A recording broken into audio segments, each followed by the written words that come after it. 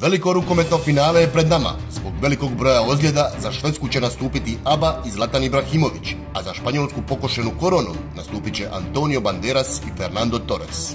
Borba za prvaka Europe ove godine biti će jako zanimljiva jer imamo ne svakidašnje igrače. Članovi grupe ABA pomoće Švedskoj na desnom i na lijevom krilu, a Ibrahimović će igrati pivota. Također za Španjolsku Antonio Banderas čuvat će branku, a Fernando Torres će ih bodriti s ostalim navijačicama.